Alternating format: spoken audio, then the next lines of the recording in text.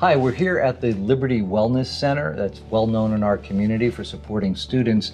And this is part of our look at when we have more, we do more. When the state, as they have, have, have uh, made really historic increases in public education recently, it allows our district to better meet the needs of students. Um, so we call it when we have more, we do more. So I'm here with uh, Nick Tsamoutalidis, uh, assistant principal at Liberty High School. Hey, Nick, um, who has been one of the driving forces behind establishing the Wellness Center. So maybe you could talk about, you know, we say we can do more. What's the more we're doing? Absolutely. Th- and thank you for this sure. opportunity asking the question. Um, we have been very vigilant in understanding that during and after the pandemic, unfortunately, what kids are going through today, or young people, um, there's nothing that's going to vaccinate anytime hmm. sooner what's happening um, to their brains, their minds. We even know all kids, uh, science has shown that not only does it change the structure of the brain, but you could put another point on when we talk about adverse childhood experiences. So prior to the pandemic, during and after, um, we can do more, right, when we have more, and that is train our classroom teachers.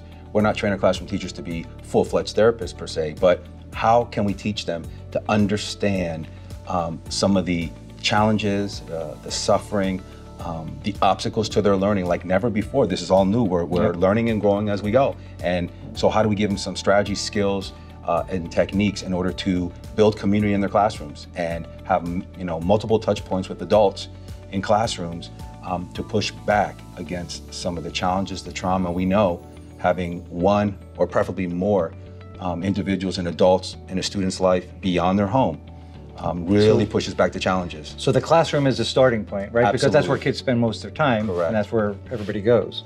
What about when for the for the students who that's not enough? Like they for they just need more support emotionally. Absolutely, great question. And so right here where we're at, we're standing in a peace room, as we call it.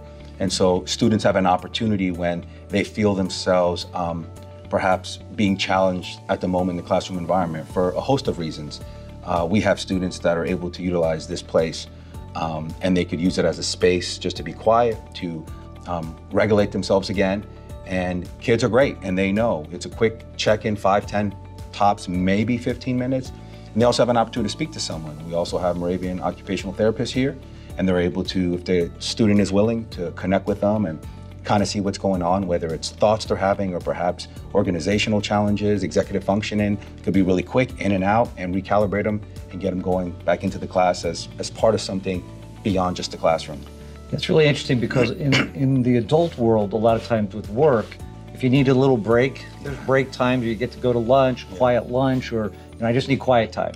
Um, and for kids, they come in at 7:30 in the morning and they're cranking through classes all the way to 2.30 so if a student needs to like i just i just need a breather for a few minutes um, this is the place to come.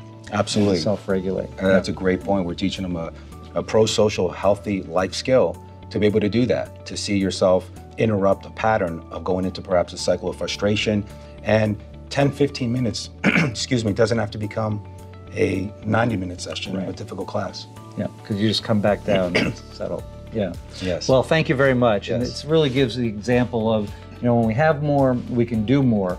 The challenge for us, and uh, Nick knows this better than I do, that the need still exceeds our ability to meet the need in school. So the the need for uh, social workers, counselors, mental health workers uh, to bring from our partners in the community into the school to provide the services where the kids are.